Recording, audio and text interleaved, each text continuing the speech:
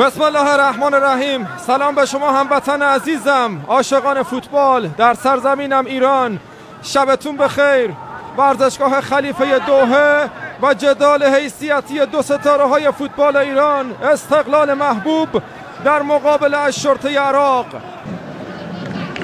ارسال انجام میدن فرصت هست این ضربه سر عالی می‌گیره حسینی در برگشت باید مراقب بود دوباره به کرنر میره. ضربه سر خطرناک مازن فیاض.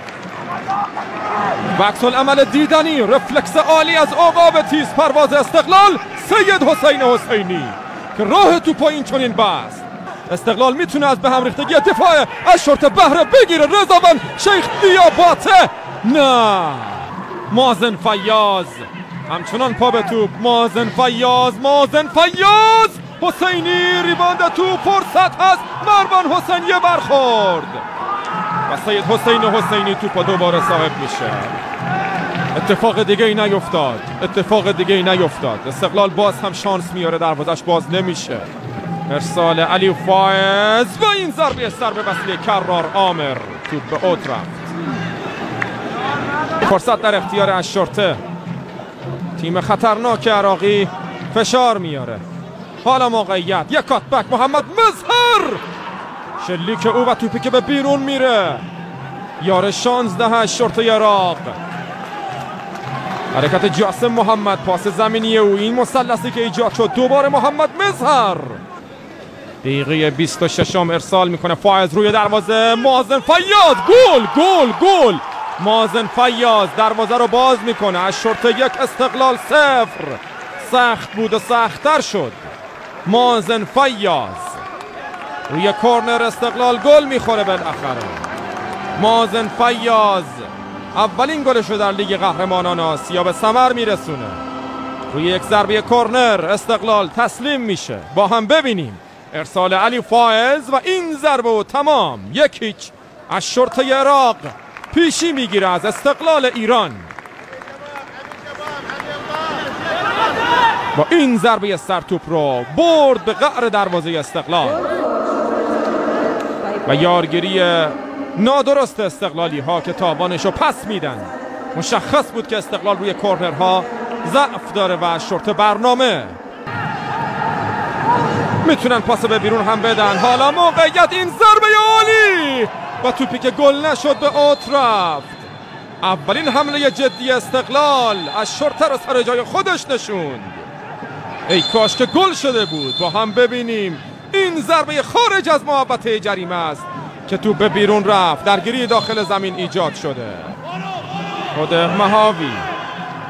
پاس میدن برای مازن فیاز خطر روی دروازی استقلاله. حالا میکارن رو به بیرون. سعد عبدالامیر و ضربه که توپ رو به اوت میفرسته. دانه کوتاه کار میشه. حالا پاس به بیرون. فرصت رو دارن. این ضربه. سر مروان حسین. دوباره کارنه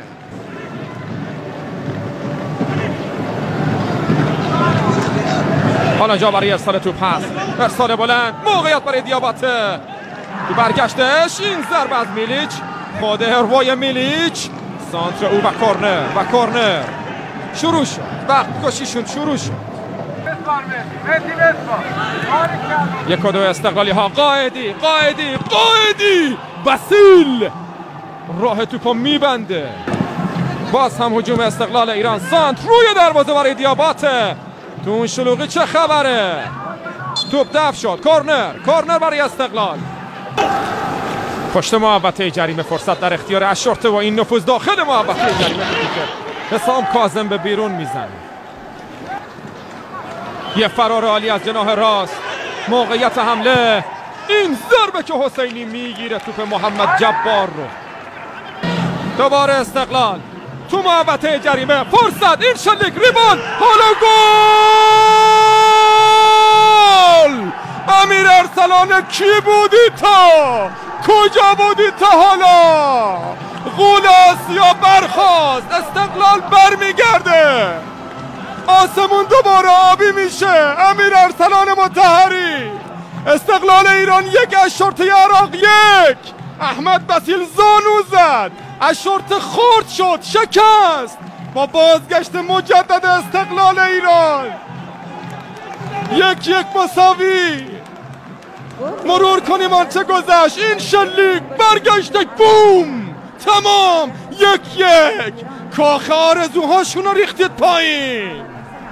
از شرط سر به سر بد تیمی گذاشتی استقلال یک از شرطه عراق یک این تازه شروعش باشه.